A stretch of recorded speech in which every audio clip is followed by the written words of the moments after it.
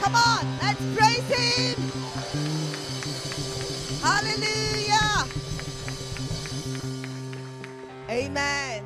Jesus is alive. Jesus is alive. He's risen. And we ought to get excited in all circumstances, whatever it is, to dance, to praise, to worship our King, our Lord. Thank you, musicians, singers. We're going to show our vision uh, 2016 vision enlargement. Thank you. Please be seated. And uh, the multimedia has come up with a beautiful. Yes, let's do it, huh? Let's see.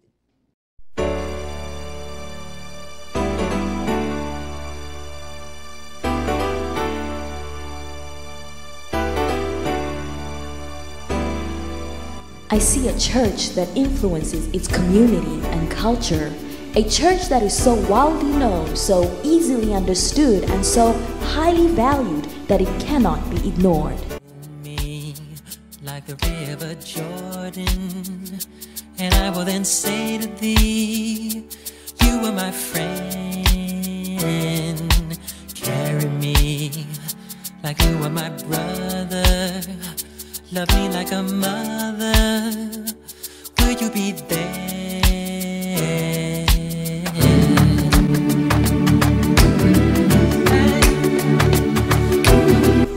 A church filled with sounds and sights that capture the attention, touch the hearts, and lift the spirits. I see a church that attracts creativity, nurtures, and releases it for blessings within and beyond its boundaries. weary. Tell me, will you hold me? When wrong, will you scold me? When lost, will you find me? But they told me a man should be faithful and walk when not able and fight till the end. But I'm only human. I see a church of grace and faith, open hearted, and where the people are warmly received, accepted, and loved. Where each person's gift is valued and their God given destiny realized.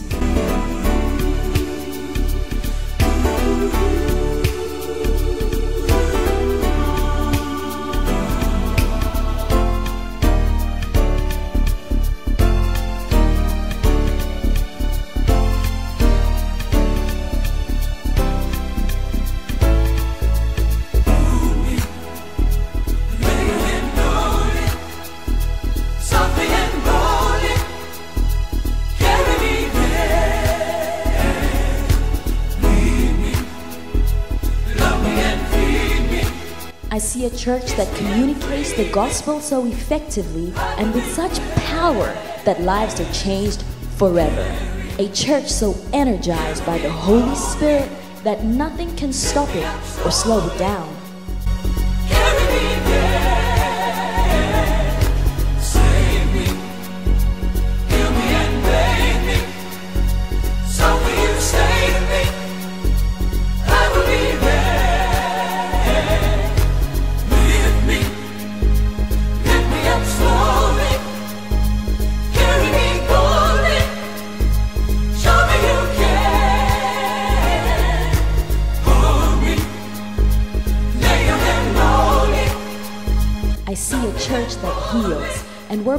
Find salvation, restoration, and freedom. A storehouse of mercy where the disadvantaged, the broken, and the hurt can find hope and be made whole.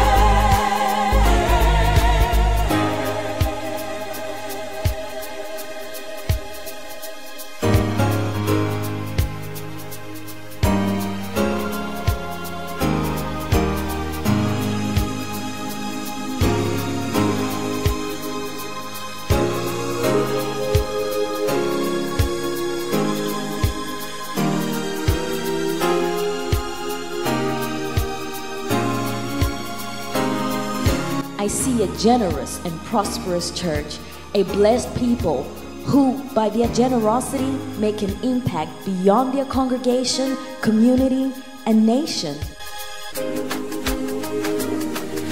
in our darkest hour,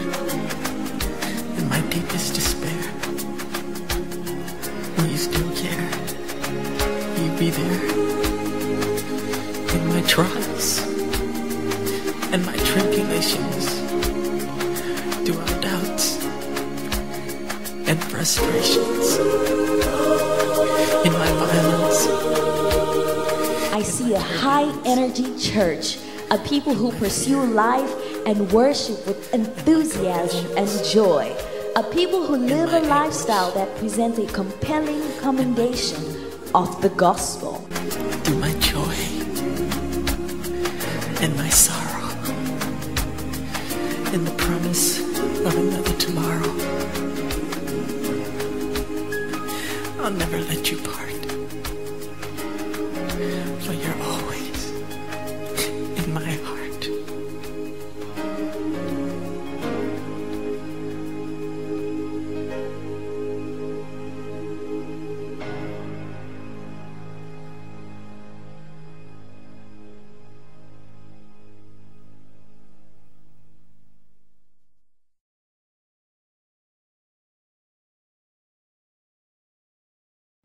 Thank you, Multimedia. Wasn't that great?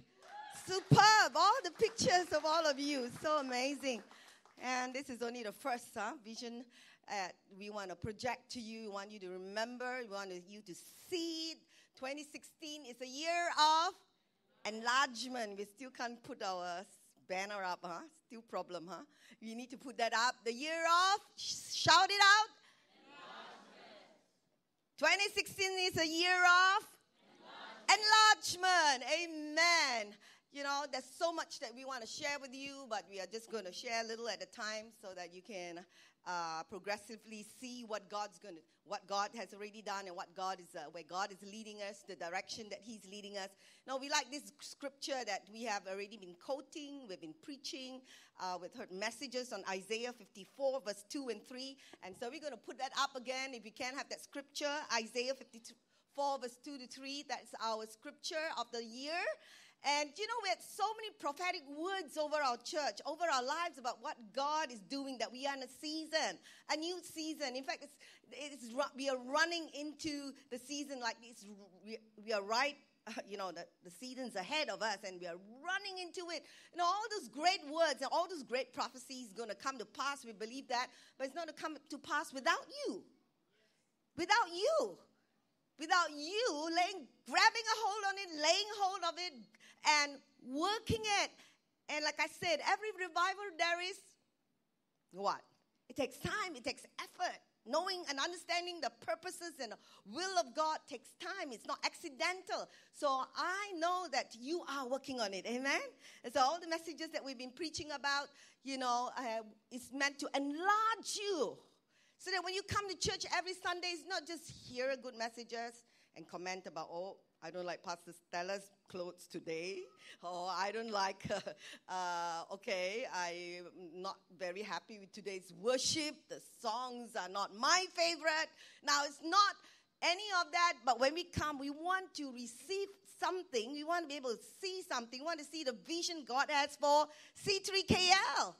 And you're going to see together with us as a leadership that we can see what God's trying to do here and the church that we see. And we're going to memorize it literally, the kind of church they want to see here, happening here. That it's not beyond these four walls. It's we're going to take the glory of God that's here inside every single one of us out there, okay, in 2016. Can you say amen to that? Amen. Okay, can we have the scripture? If not, let me quote that Isaiah 54. Can you get the scripture? Isaiah 54, verse 2 and 3 says, Enlarge the place of your tent, let them stretch out the curtains of your habitation. Do not spare. Lengthen your cords and strengthen your stakes, for you shall expand to the right and to the left, and your descendants will inherit the nations. Make the desolate cities inhabited. I told the Klang Church when we had the uh, Alive, huh? 24 7 as well as um, what's called Gen Alive, the new, we unveiled the new youth uh, uh, ministry uh, with a new name and a young adults ministry. It's like, this verse fits exactly that. It says that your descendants will inherit the nations. I believe in a multi generational church where the old, the middle, the young people has a voice. That we need to hear the voice of the young people, right? Amen. Young people, you have a voice and you need to sound out that voice, and God wants to hear that voice out there that you speak the words of God, huh? And you speak the, the will of God, the plans of God the vision of God and make the desolate cities inhabited. I know nations are going to come to our doorstep. We know it's right here already. How many of you are from different nations? Whew. Now, not from Malaysia. Hello. Yeah. Hmm. Oh, lots of people that are here. That God's placed you here, and you take this as your home for this season. And some of you are going to stay here. Some of you are going to get married here. I hope so. Work here. Uh huh. Prophesy to you. Come on. Now, Pastor has already spoken on a leadership meeting. Get started. Get dating. Whew! We are giving like joy. You were not here. Okay, Pastor would have picked on you on that day. Come on, get on. Get going. I mean, we have, our church is bursting with so many babies right here, and uh, more and more young ch- uh, babies being born. Uh, in fact, the next two, uh, I think this month and next month, we're going to have two baby dedication. Fantastic, isn't it? What God's doing, huh? Physically expanding us as well as spiritually in every way. But this is a year of enlargement. You know, God's God of increase, not decrease. You know, our faith is limited, and for a while we were saying, nah, let's concentrate on our building. And let's maybe cut back on our missions. When it's like, even if we cut back on the missions, we can't pay the building. It's got to be supernatural. And we already declared there's going to be three years, we're going to pay it up, and God's going to supernaturally provide through his people and through, you know, uh, what, we, we won't know unknown sources that God's done it before and he's going to do it again. And uh, so we said, no, we're not going to cut back, we're going to increase. And definitely this year, our missions pledge, we have increased it, and you have stepped up I'm so glad. I'm so proud of the church. Young people are signing the pledge and giving whatever sacrifice they have. You know how tight you are. You're saying, Yes, I'm for the vision. And I'm sowing into the missions pledge. And so this year we're going to see that. We're, uh, the pastors, they're like nervous and say, Pastor, are you really, really going to? They say, okay, la, don't worry. We're going to still support you. Uh, you. Take your minds off, but we want you to see your faith stretch as well. That's what we want our uh, Tamil works, our, you know, our missions churches to stretch their faith as well. Not depend on our faith, but they believe for the supernatural years of, of increase for them. See that? So I want you to believe that, that we are going forward. We are going to move forward and, and we're not going to stuck in the rut and think that ah, i'm not going to expect anything uh, from god this year i don't think i can ever move forward any further you know probably i've already reached my maximum my limits and uh, that you that you are not going to accomplish your dreams or your goals that you have already. That's a lie. That's a lie. You have far more things that God has uh, imagined for you and uh, and the dreams that God has for you. So don't let, let the setbacks of 2015 let it hold you back, but let it be a setup by God to set you up for something bigger. Amen. Do you believe that? that every obstacle that's in your way will be not, not be stumbling stones for you, stumbling blocks, but you will be stepping stones for you to step up into another level in God. Amen. Do you believe that? You believe that with me? Amen. Praise God. Come on, I'm so excited because I'm, I'm beginning to see. I'm, I, yesterday we had a party in our house, and uh, just one of the young girls just came up and shared how God, you know, one of our neighbors' uh, young, uh, uh, the eldest daughter share how God has miraculously supplied for her, you know, her uni studies. And uh, because the father went through a bad patch financially and it couldn't support her, and she's thinking, How God, God, you say you're a good God, God, where? And just 24 hours, just last Thursday, she got a sponsorship, totally paid for. what, what do you call it? Uh, scholarship for the medicine. Totally. And isn't that good? How God, and she's saying, like, I can't believe this. I'm still living in this dream. Like, you know, because the father promised they're going to send her to, uh, uh, what's that, Taiwan or something like that. And then the deal didn't go through. And so financially they were strapped. So God is good. Miracle after miracle, we're going to see from the start of the year, we already hear how God's working through. And so, you know, as you hear all these things that's happening, uh, from time to time, you, you stir your faith to say, God, I don't want to limit myself. I, you have so much more for me. Amen. I want to believe. I want to believe for miracles that's going to come by my way. And so you got to believe. You got to declare. because your words have creative power. Listen to that. what you declare is what you're going to get. It's like almost a self fulfilling prophecy. What you believe is what you're going to receive. And so I'm going to talk about a message that's related to the vision, you know, the vision of our church for 2016 and uh, how, how are we going to fulfill it? How are we going to fulfill the purposes of God? We talk about finding the purpose of God. We also talk, continue with following the purpose of God for your life. And now we into how can you fulfill the purposes of God, right? So it's very important to, for you to have a dream, a goal, a vision, a purpose for your life. It's not enough to just know God's purpose. You got to pursue it. Yes, we talk about how you need to. It's not going to accidentally, automatically going to fall on you. You got to pursue the purpose of God because there's a demonic opposition that's coming against you to finish well. Satan tries to stop our dreams from coming to pass. Hi, we have an enemy that we're contending with, but we know that victory is ours already. Huh? As we start, it doesn't matter what he tries to toss. You know, this young girl was telling me right at the eleventh hour. You know, it's like he had a, she had a big argument with his dad, and they were like fighting and arguing. And she was so disappointed. The dad was not for it, and say about the application or whatever. And then she went out, she prayed, and she was like tried to calm herself down. When she came back, she opened her mail and said, right there, the message popped out and said, You already offered the scholarship. And when she checked the date, uh, the time, it was like exactly right one minute before she, the argument started. You see how, how the enemy, how he tries to throw the last, like, hey, you can't stop the plan and the purpose of God. If you stay in God, you know, nothing is able to move you out of what God's planned for you. His timing, and you just got to believe that. Hallelujah. So when I heard that, I was like, yes, that is how, you know, the devil is the loser. It doesn't matter what the, how he tries. You know, I said, wow.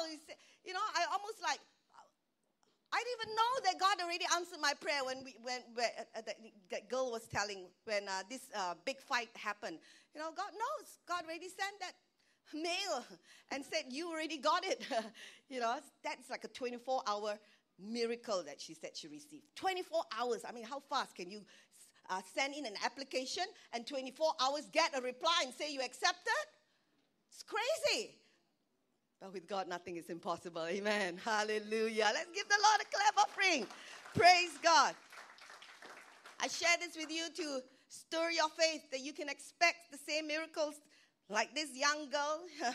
She's just a young Christian together with his family uh, her family and uh, her dad and mom, um, and they are so young, and they say they cried to God and said, "God, you said you're a good God. God, they they've contended with God and said, God, you you got to do what you say you you promise." And God came through for them because they lay hold of the promise that God's given to her.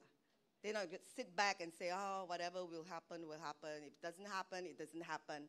They contended, and God saw that word vision. Now, I want to give you a definition of dream. Sometimes when we talk about the word dream, you know, we think of a physical dream. Of course, God can give you a physical dream while you're asleep, yeah, in a subconscious, just like God gave Joseph the dream. God may speak to you in dreams, in visions. I believe that. But it doesn't always have to come that way. Uh, when God is speaking to you, it not necessarily be just when you are asleep and unconscious. He can be talking to you and speaking to you about a goal, a, a purpose, a vision that He has for your life. Something that is already stirring in your heart. It's put that in your heart as you are delighting in God. God's already put that at the back of your heart and your mind and your heart. And you know, you you you if you're good, going to thinking, oh, whatever comes comes, you know, uh, uh, whatever is going to happen will happen. Yeah, whatever circumstances is coming by my way, I'm just going to accept. No, I, like I said, you should not take everything that come into your life as from God because there are some things that sent by the enemy huh, to, to derail you. So you need to know and say, no, that's not part of God's plan and part of my life. I cancel that, right? Refuse to accept that. And uh, don't just say, take whatever happened to happen. You, uh, you know, I just go with the flow, like some people say. They use that word. No, I believe that God has a specific plan for all of us. And unless you have some determination in your heart, you hang on to it, you persevere through problems and through difficult times, you will never see God's best for your life. Do you know that? So you need to persevere. Actually, I was like contending which one to choose, huh? which message, but it's all tie in. So my next message will be about patience, perseverance, to see God's purpose come to pass. It's not going to op- happen like that, huh? Just uh, uh, overnight, huh? Yeah, because it's a journey. Faith is a journey, right? So we got to persevere in, in fulfilling God's purpose for your life. You want to finish the course. You want to come out a winner. You want, you know, to come to a destination that God's destiny for us. And it's not like just flow downstream. No, to flow upstream, to flow against the current, it's going to be tough.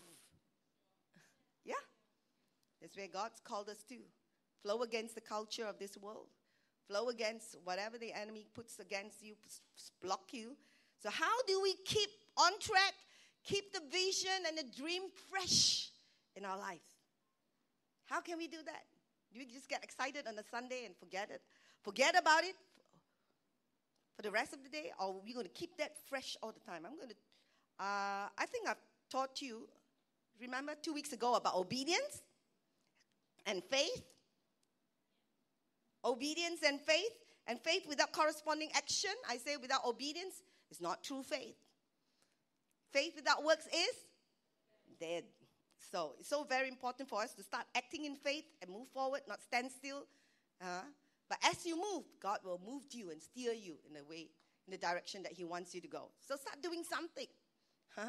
Uh, if you're not sure, at least uh, start moving, and God will reveal to you. Huh? So, what do you believe? Don't say, I believe God's gonna give me a job, and then you don't send out your resume. You don't go for any interviews. Is it gonna happen? No. I believe God's gonna give me a life partner, a wonderful man, a wonderful girl. But then, you don't go out and date anyone. Hello? Or you don't even prepare. Like some people think, oh, I just go out and pick somebody. No. You consider asking God who, who is the right person and let God direct you? Do you? or prepare yourself at least. And if you're not even responsible for yourself, how are you going to be responsible for somebody else, huh? Come on, grow up first. Hello? So I'm not saying just go out and quickly date and get married, all right? Develop yourself, prepare yourself for what God's going to prepare. No, God's going to bring somebody along your way. You, you, you want to you want to miss it, huh? Because you're not prepared. And I believe God's also going to prosper me. Oh, I know God's word say, as I give, I'm going to prosper. When difficult times comes, you stop giving. That's not faith. Faith is going to be tested. And faith is faith shows in, your, in, in obedience. How obedient you are to fulfill God's will is your obedience shows your faith. So don't be just a good hearer. All of us be good doers. Tell your neighbor, be a good doer. Be a good doer of the word, right? Let me tell you what happens when you hear the word week after week and you never take action. You don't obey what God tells you. You know what it does to you? It desensitizes your heart. You get layer after layer, and you will be deceiving yourself. You want to come to that place where your heart is dead towards the things of God, and you're away from God. Uh, gradually, you, you stray and drift away from God. So, how can you prevent that from happening? Okay, let me show you one verse before I go actually into my main message. This verse is very important because it ties in with what I'm going to say. Romans chapter 1, verse 21 here says in the Amplified Version How not to decrease the things of God, the passion of God that you have in your heart. This is the scripture. Because when they knew and recognized him as God, they did not honor and glorify him as God or give him thanks, but instead they became futile and godless in their thinking with vain imaginings, foolish reasonings, stupid speculations, and their senseless minds were darkened. So in this verse 21, it shows us the almost like three or four steps here. How they start by being They did not honor or glorify God, meaning they did not value God. And then the next thing, they were not thankful. And the next, their imagination became vain and their minds became darkened. So you see, that there is a sequence in these steps. Uh, it starts first when you allow other things to occupy your mind, where you start valuing the opinions maybe of your friends, your boss, or anybody else more than what the Word of God says. And you allow your job, you allow your relationships to compete with the number one place in your life. You allow things to crowd God out. Hello, is God in the center of your life? I told you from the start, fulfilling God's plan and purpose for your life, you got to put Him as completely number one in your life. Keep Him in the center of your life. Don't allow any other thing compete with it. There's no other. He's before everything else. Well, if you're going to put your confidence in men or even in your boyfriend or your parents, you're going to be let down. or your children, they're going to fail you. They're going to disappoint you. Your job or whatever. But when you put your trust in God and put Him in the center of your life, you know whatever happens, He's never going to fail you. We sang just now. Never ever going to fail you. That's the confidence that we have the, from the Word of God. So the next step, when you start putting other things first, the value of God comes down. And what's the next step? We are no more thankful. We stop being thankful. To be a thankful person, you got to constantly rehearse the victories. You got to build monuments, not to yourself, how wonderful you are, huh? what you have accomplished, but to God. And remember all the good things that God has done for you. That's being a thankful person in every situation. And sometimes I was talking to my husband about how, where we first started, you know, in Bible college, that's where we met.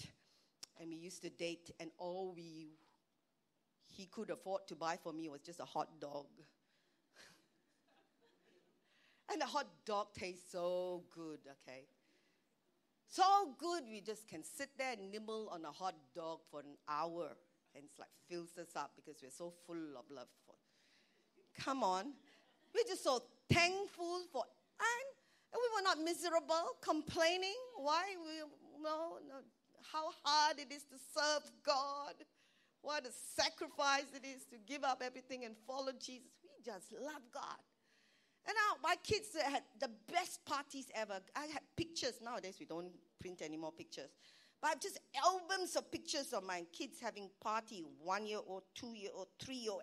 Every time you throw a huge party for them, no matter how much we have. We didn't have very much, but we make sure they have the best party ever. Until they say, Mommy, Mommy, please stop. I don't want any more parties, all right?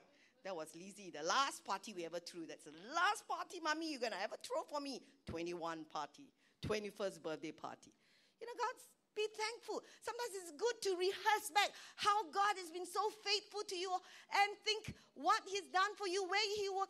You came a long way, and God kept you. God kept you all these years. And anything could have happened to you. Do you know that uh, we, we worship an awesome God?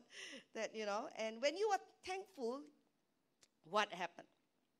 But when you're not thankful, I'm sorry, what happened? Your, your mind starts to darken or your imaginations become vain. It doesn't mean that your imagination is not going to work for you anymore, but rather it's going to work against you. That's what happened when your imagination becomes vain and then your mind gets darkened. And then you start imagining failure instead of success. You start imagining death instead of life. You start imagining defeat instead of victory. That's what happened. When you don't glorify God, you don't value Him anymore, and you are unthankful, your imagination goes vain. We won't want to get that. Turn it around. What happens? When you keep glorifying God, every situation of your life, you are thankful to God.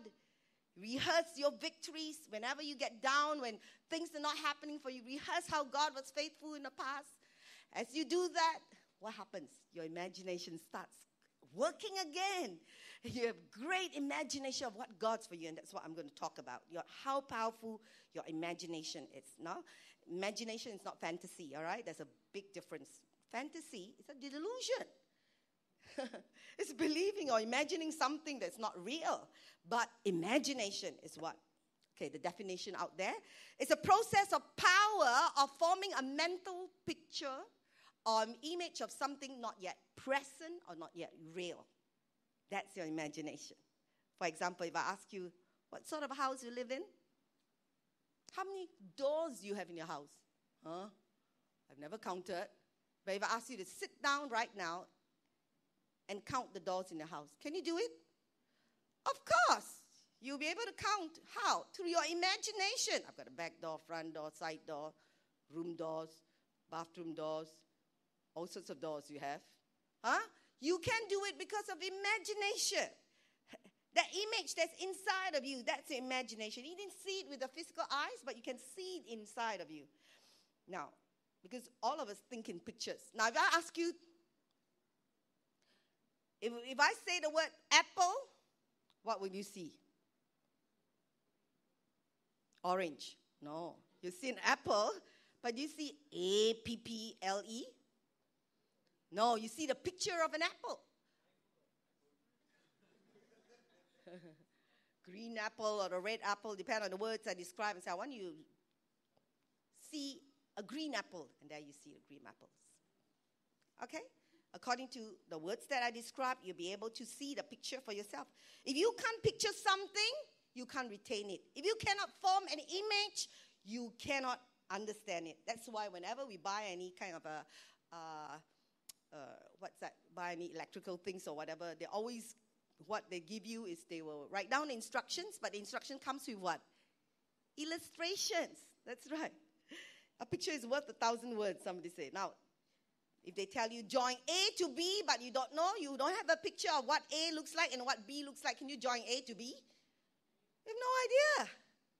But when it show you in an illustration a picture of what A and B is straight away, when you can see it, you can fix it. I fix a, a barbecue set. Do you know that? I'm super with fixing things. Let me tell you, at, in, at home, I'm the fixer, not pastor. Because his finger is so thick and fat, he can't just get anything. He just drop screws and he just can't I don't know. yeah. I can see things. I can fix things like, you know, I can carry, he has to help me carry heavy things. You got to be able to see it, to fix it. Do you know, when we first bought this place, we had Samantha Go, or Samantha Banico. Huh? She's, she's the architect. She designed, she, we all got together, we were so excited. We said, you know, how high the platform is going to be, how low, and then we were thinking the cafeteria, how big it's going to be, the rooms. She just drew a blueprint. And we all got together and discussed about the blueprint. Now, we didn't see it, but we have it in a picture form. And do you know what? You finally look at this, it's done. How can we do it? If you can't see it, you can't build it. You got to see the blueprint. You can't function without your imagination.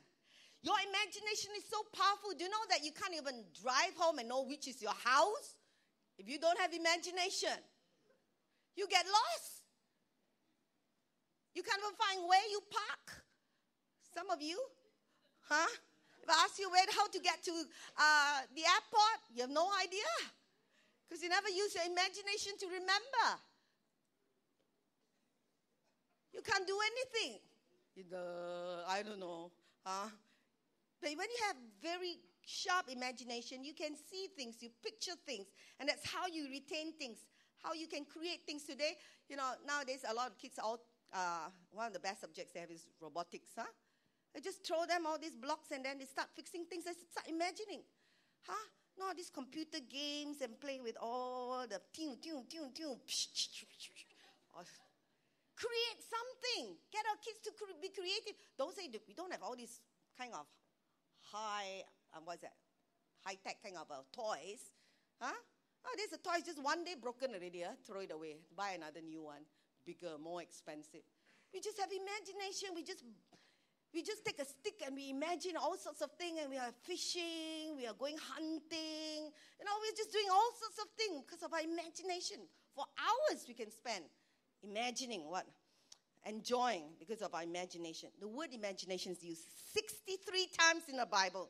Now, some of the words used in Hebrew comes from the word yester, this Hebrew word yester, Y E S T R, translated as imagination. Okay, let's look at the Old Testament. Start with Genesis chapter 6, verse 5. The Lord saw that the wickedness, depravity of man was great on the earth, and that every imagination or intent of the thoughts of his heart were only evil continually. You see, every imagination is used in the Bible. The word here is used in, a negative sense, huh? Except in 1 Corinthians chapter, not 1 Corinthians, 1 Chronicles chapter 25, verse 29 verse 18 says, O Lord God of Abraham, Isaac, and of Israel, our fathers, keep this forever in the imagination of the thoughts of the hearts of your people, and prepare their heart, uh, prepare or fix their heart unto thee. So you see here, in the context, this was King David's prayer. In this context here, King David had just given an offering, do you know of how much? To God from his own personal account? 1.2 billion dollars. Wow, that's how much he gave. And he has also given out 100 billion dollars of gold and silver from his government's treasury. And then the people got so touched by David's generosity and gift that they also decide to do, uh, they spontaneously decide to start giving. And do you know how much they raise in one offering? Five billion dollars. Wow. I was thinking, God, let it be like our fundraising, all right? How wonderful it is. Just raise one offering covered up for our new building. Whew, wouldn't that be good? Yeah, Yenny? Let's believe that. But that was what happened. It was one of the biggest, most memorable uh, milestone of Israel at the time. David was so touched. You know what God, what he said to God? God, you know, who are we to do this for you? Imagine that's what he says. You know, instead of saying, look how much we raise for God's temple. He say, all that we have given to you really comes from you. It doesn't even come from us. It belongs to you. It's yours. It's already yours. And I was so blessed he prayed this prayer that me just read. Keep this forever where? In the imagination of the thoughts of the hearts of your people. Why imagination? What is David talking about? He was talking about God help your people to remember what happened. And how do you remember? By imagining. Keep the imagination in your heart, in your mind. We all have a mental picture, okay, of our house, right? I remember, you know, I grew up as a child in Siglap. I don't know if you know Singapore. Siglap is a place where I grew up, and I used to imagine my house is this huge house, a huge bungalow house, all right?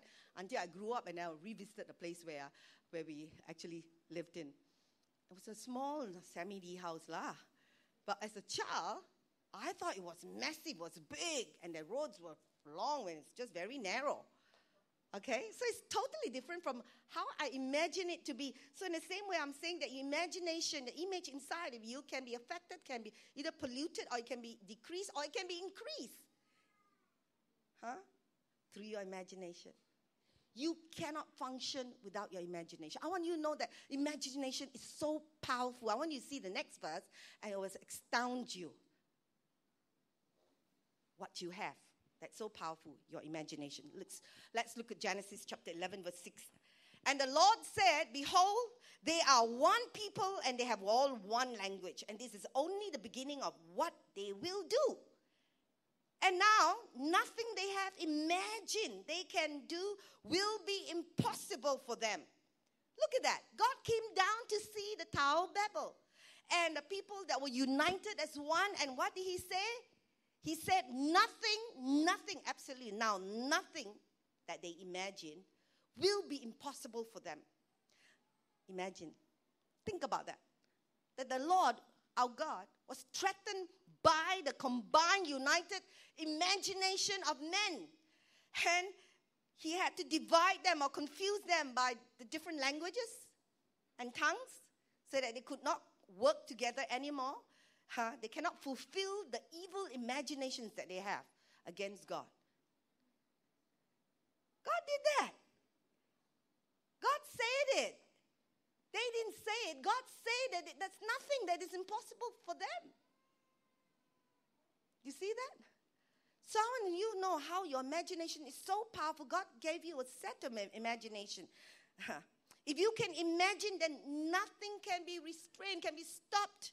If you can imagine it, if your imagination is so powerful, then why is it we always talk only about, the negative side huh, and not the positive side? In fact, like I said, most of the scripture, when it talks about imagination, is always the bad, uh, negative side of it, except that this David's verse that is in the Old Testament.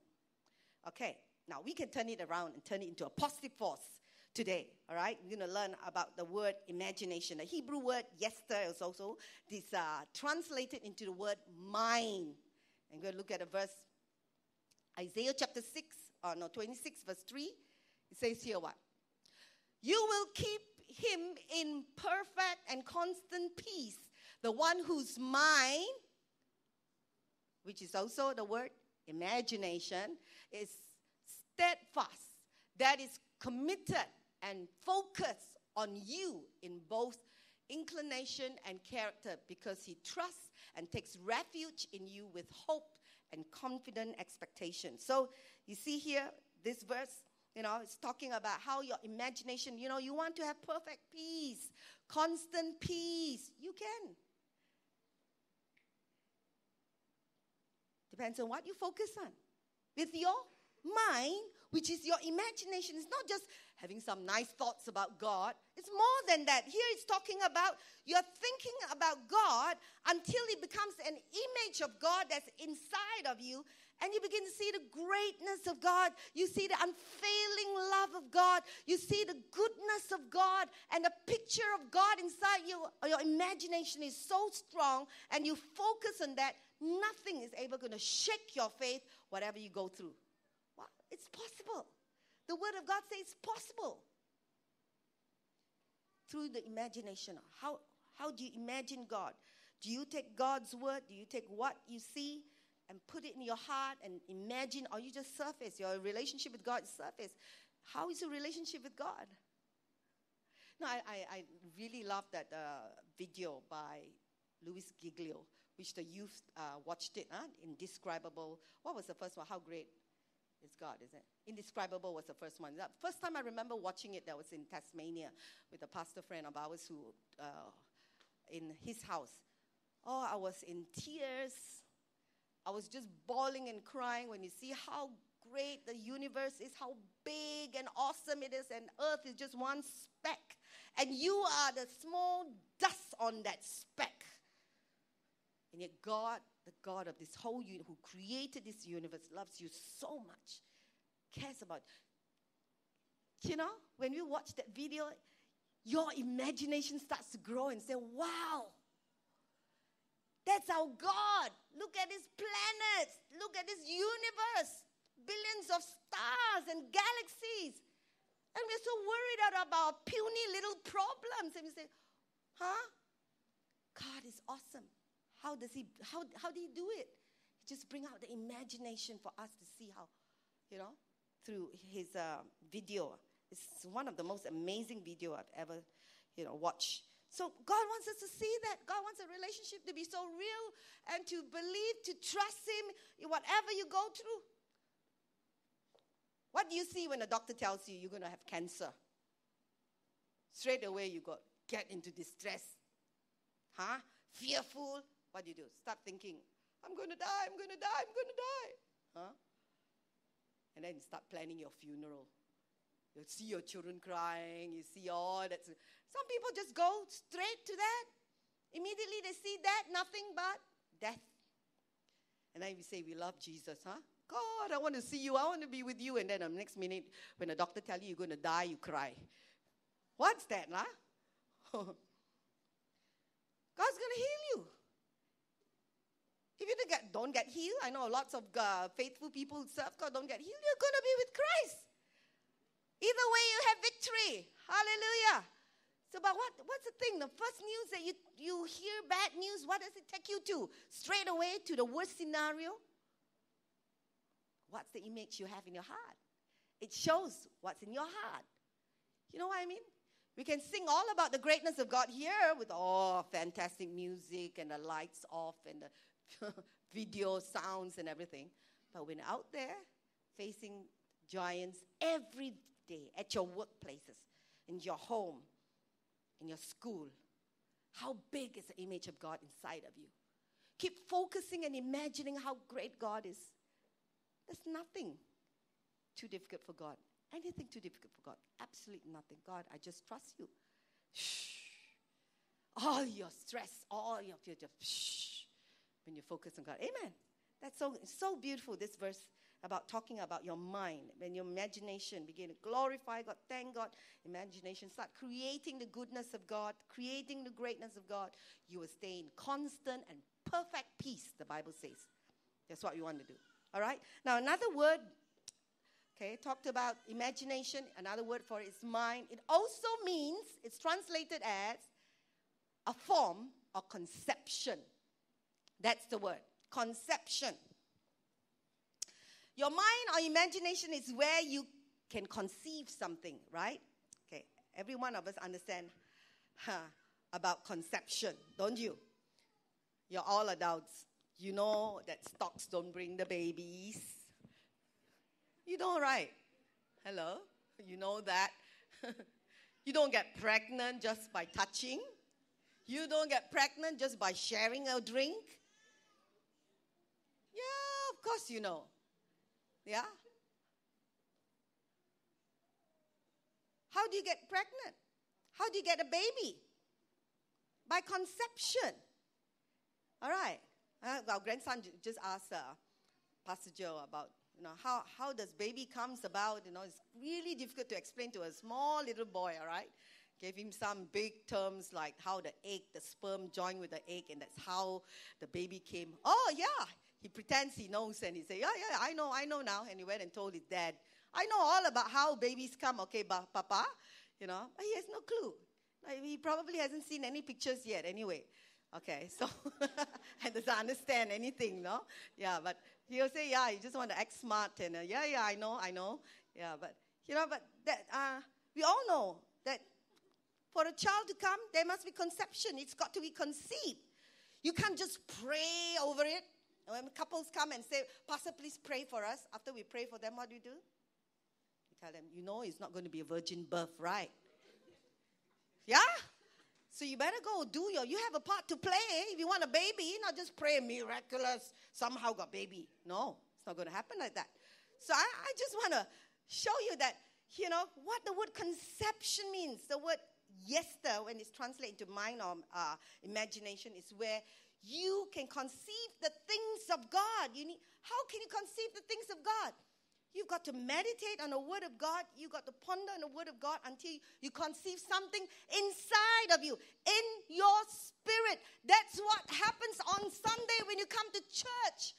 If you open your spirit to God, what happens? The Word of God comes into your spirit. You are conceiving something. And then we start allowing the Holy Spirit to bring the imagination in.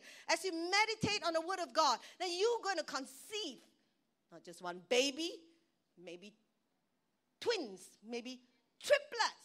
Some of you are conceived inside your spirit you're waiting how long, God? This is like nine months you could carry the baby. You have conceived something inside of you. And it's going to happen. You're going to bear the fruit. You're going to give birth to the baby. But you know what? The devil doesn't want you to conceive that. He wants to abort that vision. He wants to abort that dream that you have. It's, it's so foolish. It's never ever going to happen. You try to convince you, try to put his bad seed of fear and unbelief inside of you for you to abort that seed that you have received in your heart when you receive. So I'm, I'm telling you, this is very powerful. Your imagination is very powerful because you have to conceive it in your spirit first and nurture it. Do you know how babies are after wow, wow the moment I tell you when you say you're pregnant, uh, I tell you uh, you become the queen Your husband will treat you like a queen. What do you want to eat? Uh? Don't walk, walk, walk slowly. Uh? Don't fall. Uh? Uh, what do you like to eat? Anything you want, you just can ask and they'll give it to you. Yeah? Yes or not? Hello? Now, how many, not, not many of you are mothers and. hey, all those who are mothers, yes or not?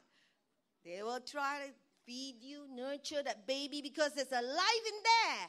You're going to nurture it. Take care of yourself. No more drinking coffee. No more. I tell you, my daughter has to give up all sorts of things, sacrifice just for the baby's sake. The same way. If you have, God has conceived something, you don't treat it trivial. Nurture it. Feed on it. Take care of it. Just like you would a baby if you're pregnant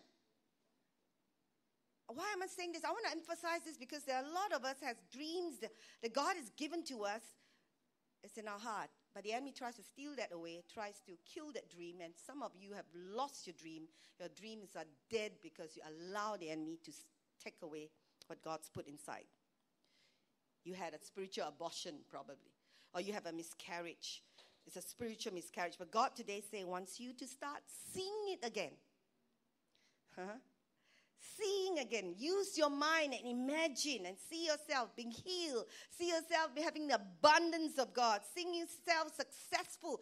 Seeing yourself having a great marriage and relationships. You have to see. I like the video when we have Hollywood uh, Christmas night, huh, when they did that. I didn't even know that somebody was videoing when I was praying there in that, that building. All of us was just walking together. You know, Nisha was there, yeah, all done. And uh, we were there declaring, you know, it was, I don't think we even have purchased it yet, yeah? Yenny, we have not, right?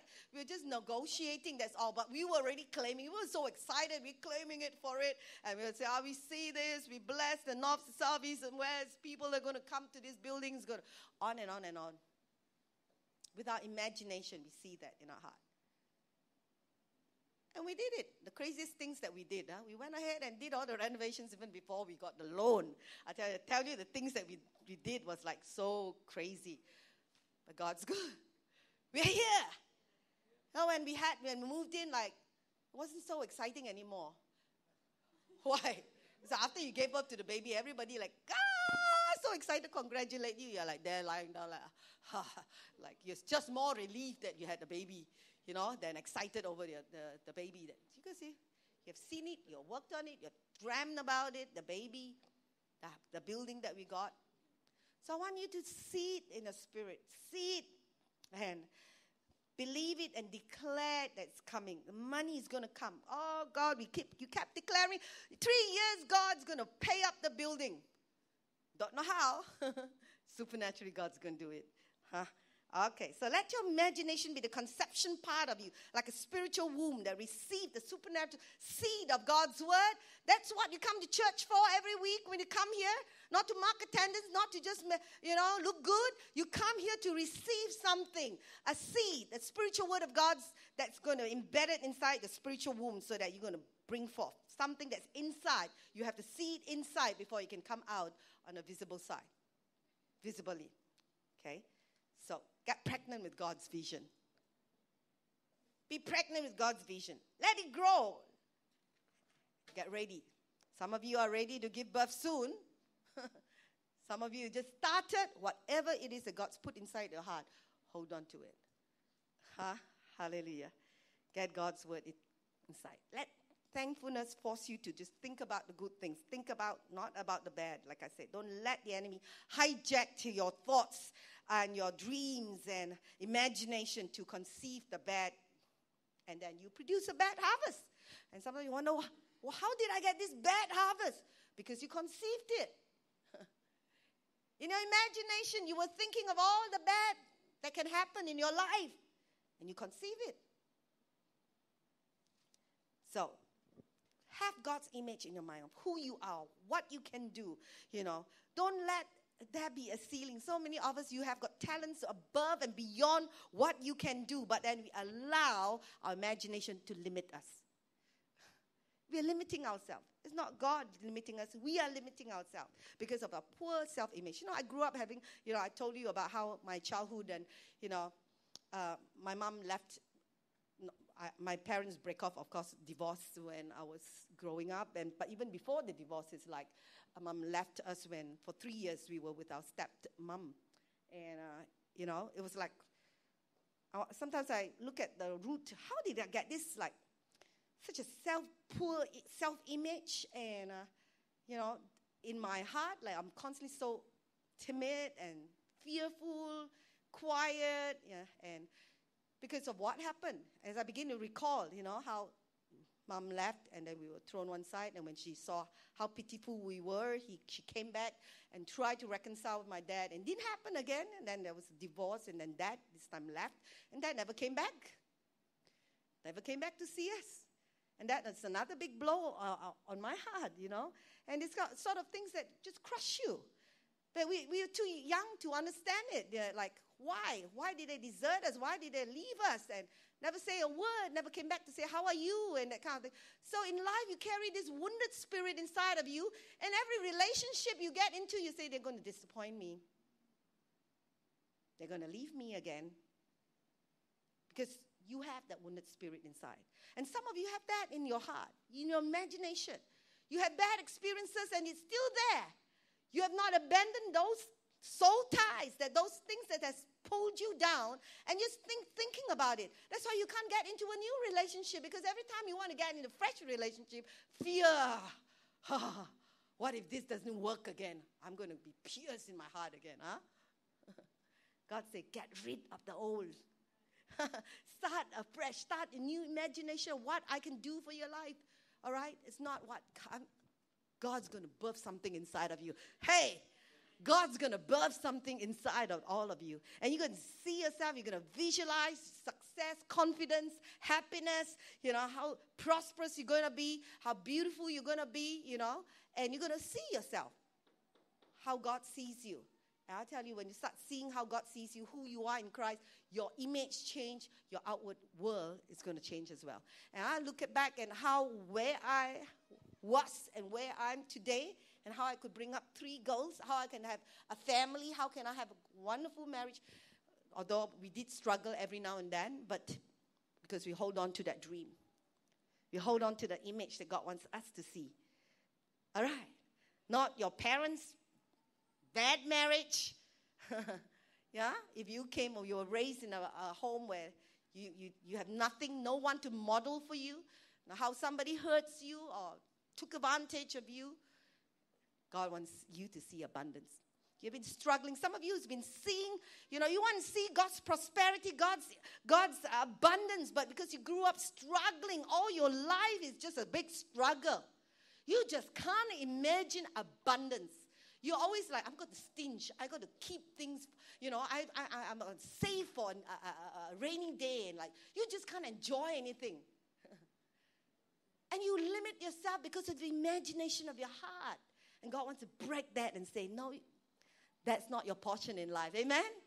You are going to be blessed. You're going to see the increase. You're going to see the abundance. You're going to enjoy the prosperity that God's going to give you. You're going to see as you lay hands on the sick, they're going to recover. Don't see lay hands on the sick and they die. no. They're going to recover. You're going to see demons manifest and flee. You're going to see demons run. Hallelujah. Amen. Start seeing what you can do in Christ and picture that inside. That's why 2 Corinthians 10, verse 5 talks about huh, how you need to break the image, cast down all sorts of wrong imaginations in your heart, pull it down, cast it down. You got to cast every imagination, every picture that the enemy has put inside your mind off and say, not going to think about not going to imagine that anymore. That's not me. That's not my portion. That's not going to be the way I'm going to. I'm going. My future is, is. Let God paint a beautiful picture for you. Hallelujah. Amen. Okay. Now, finally, another one word for New Testament. Now, let's go to the New Testament about imagination. It's translated as understanding. Matthew chapter 13, verse 19 here says, "When anyone hears the word of the kingdom and does not understand it." Then the wicked one comes and snatches away what was sown in his heart. When you don't understand something, you don't understand the word of God, the enemy comes to steal away from your heart, the precious word of God. No, when you don't understand the word, what does the devil tries to do? He comes to steal. Understanding is what? To get something inside, like imagination. It starts inside. So don't let the word of God just stay as knowledge and just facts, but let's let it grow into an understanding stage where it becomes real inside. It comes alive inside of you. Right? When you get so excited about the Word of God. How do you do that? Imagination. Understanding comes with imagination. So, how do you get into understanding? How? By allowing your imagination to work for you. That's how you come into understanding. Just don't just read the Bible and just read it like facts, but allow imagination to be mixed with it. And then how do you allow the imagination to work? This is how. For imagination to work, you need some quiet time. Yeah. you need some quiet time. The Bible talks about being still and know that I am God. Hi. Do you have quiet time? Time for the Holy Spirit to bring your imagination so that your imagination can be loose and you can think and you allow your imagination to function. We don't. How many of you enjoy quiet time? Good. You want quiet time, right? I'm glad some people still do enjoy quiet time. But a lot of us fill our, our schedule with activity. Got no activity is not good enough. I just got to do a lot of things, huh? One activity after another, another, another. I think the more we do, the better, more productive we are. Actually, it becomes less productive by doing the more, you know? And we don't, we don't sit down. Now, what else we do? We watch a lot of TV. We allow, air, you know, we have no time for our own imagination. We allow other people to put their imagination inside our hearts by watching lots of TV, listen to lots of radio, just talk, talk, talk, talk, talk, talk, talk, listen to a lot of conversations. You see that? So much so that when you read the Bible, uh, you read, I got to read three chapters a day. Okay, read quickly read the Bible. Why? So they can watch your favorite TV program. And you expect God to, huh? Come in your life, do wonderful things for you, obligated to do great things for you because you read your three chapters a day. Hello. Starting this year, let our devotional time that we have, which I know a lot of young people, Mom Faith, make sure all of you are into a Bible devotional plan that we have, huh? Lots of that. But don't just mark it out, oh, I got to read this because Mom Faith will be checking on me. Let me sh- make sure I read my three chapters. Quickly read it. No. After you read it, if you do read a three chapters, stop and get a word and start meditating on it. Medi- and let your imagine, see yourself how what the word wants you to see. All right? Doesn't matter how busy you are. Moms, I know there are lots of new moms here. It's tough, right? You don't have much quiet time, huh? But even then, when, your when your babies do go to sleep, you have quiet time. Don't run up to try to clean the house when you have the quiet time. Stay there. A half an hour. Just get quiet before God. And ask God, pray, God, what do you have for my life? What do you have for my life? What's your plan for me? And let the Holy Spirit bring imagination, and image into you, cause you what He wants you to do, what He wants you to accomplish, what the kind of person that He wants you to be. Get that inside. Because when you can see something inside, you can see it outside. It will come to pass. You see how powerful this is in your imagination? So, how many of you been to Israel? Oh, I tell you, everybody should go to Israel. Yeah. When we step into Israel, you know what happened? The Bible comes alive. When we see Jerusalem, when we see when we're on Emmaus and the guide tour guide tells us, you know how close Emmaus is to Jerusalem? And then you imagine it's just a day's walk. And now I understand. It's one day's journey. That's how close Emmaus is to Jerusalem. And we see the landscape, we are, we are, and then we see the Jordan River, and we imagine how Jesus was baptized there. we see Golgotha, the Mount Calvary, and we now understand why is it called uh, hill of skull because it was a uh, the whole hill was carving, looking like a skull. So everything comes alive. Why? Because your imagination now you can see, and the Bible comes alive. Jesus, our Lord Jesus, walked on this earth in Israel. Like thrills you, isn't it? To think that God Almighty came down into this speck and into this land of Israel and live among us. Imagination again. So the next time when you get into the Word of God, this year, how many of us are into a devotional plan or whatever? How many of us? We, need to. How many of us are? We all need to get into the Word of God. Let me tell you, it's the Word of God. Whatever you need is in the Word of God. You need healing, it's in the Word of God. You need prosperity, it's in the Word of God. you need success, it's in the Word of God. So, whatever fruit you want, get into the root. That is, get into the Word. When you get into the Word, remember to get it. Start meditating on it. Start imagining what you want to see happen in your life. Let God paint the picture for you. And you begin to have understanding and the same, and you begin to believe God. God, the same Jesus, Jesus did this, I can do this. Jesus lay hands on the sick and heal them. I can lay hands on the sick and heal. You believe and begin to see what God wants us to see. How you can heal the sick, how you can raise the dead. Hallelujah. How many of you want to see raising the dead? Not me. Go to the mortuary and try, experiment, raise the dead, whatever. You have to see. If you don't see, it's not going to happen. A lot of us, we want a miracle power of God working in our life, but we won't go through the process. And what's the process? Meditation. See in the imagination of your heart. So this year, let's not just read the word, shall we? Let's, let's ask the Holy Spirit to give us imagination of what He wants us to see. The Word come alive inside of us and see the Word, our imagination, whatever He has put in our heart to believe and to see come to pass. Amen? Hey, hallelujah. Okay, let's stop here.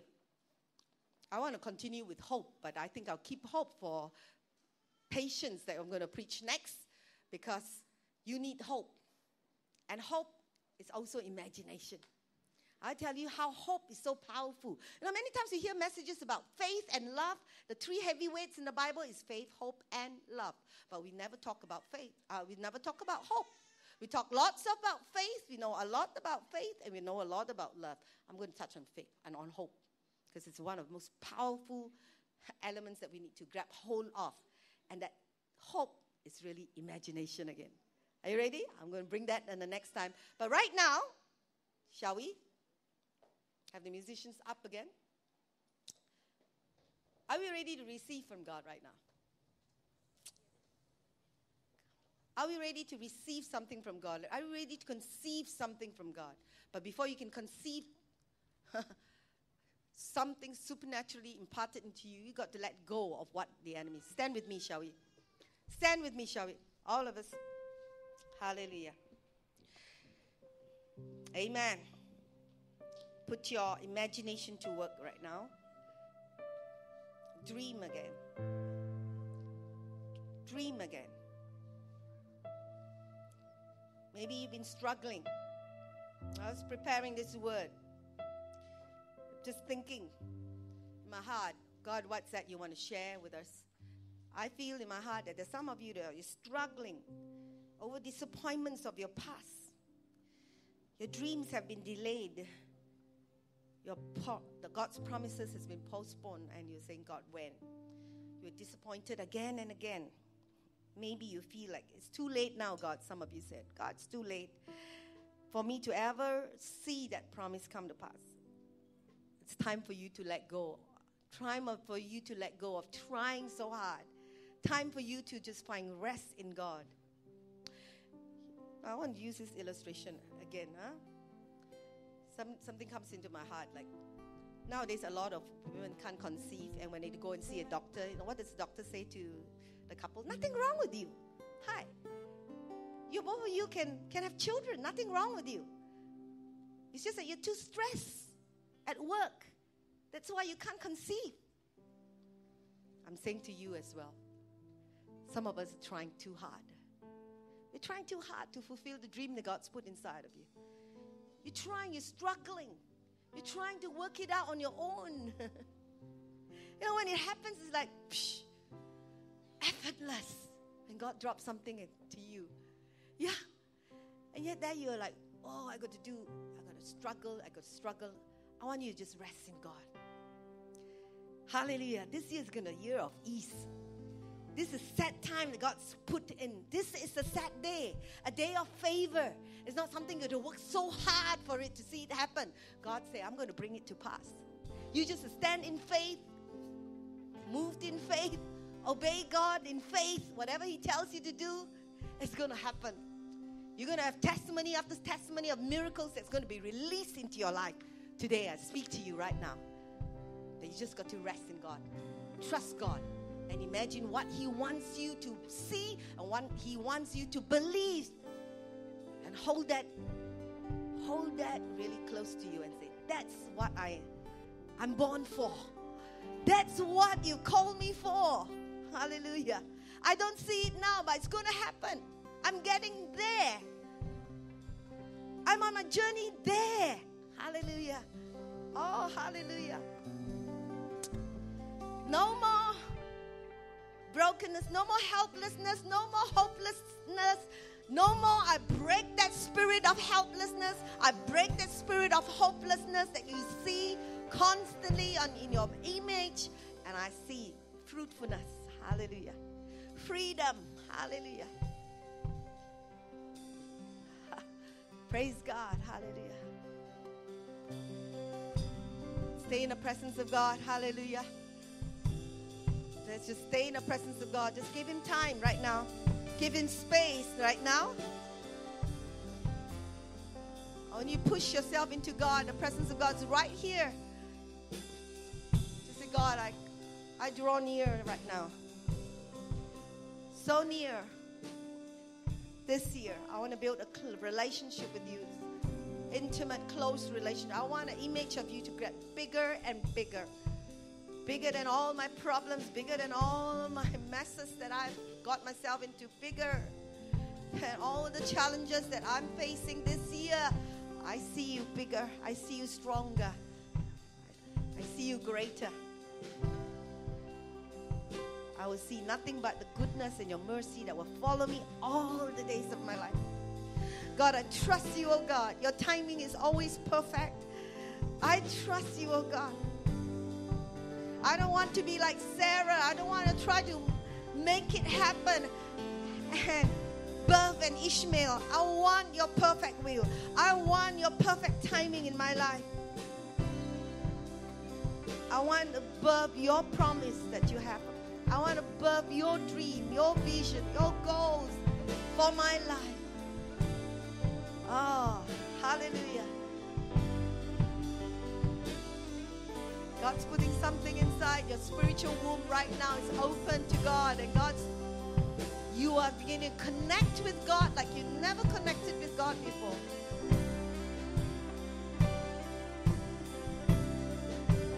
Let go. Some of you need to let go of your disappointments. Let go. let go. Let go of your hurts. Let go of the bitterness. Let go. Hallelujah. Oh,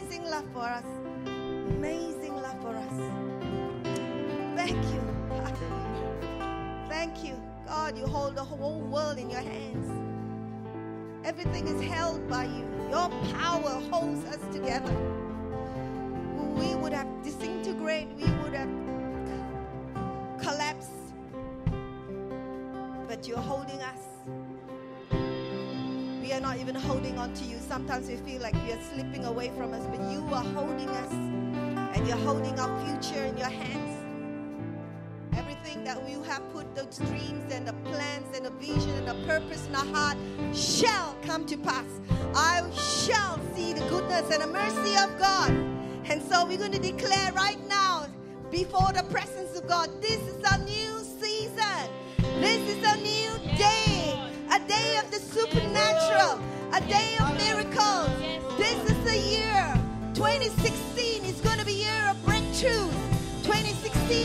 Year of restoration.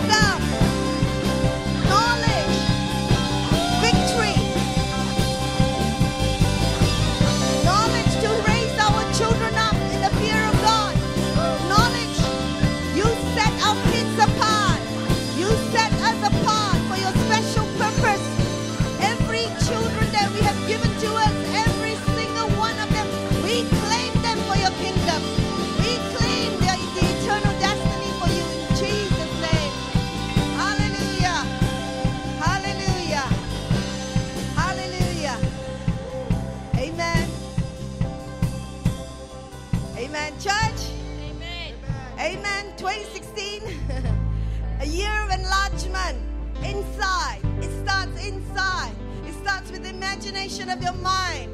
And we're going to let God conceive inside of us His imagination, what He wants us to see.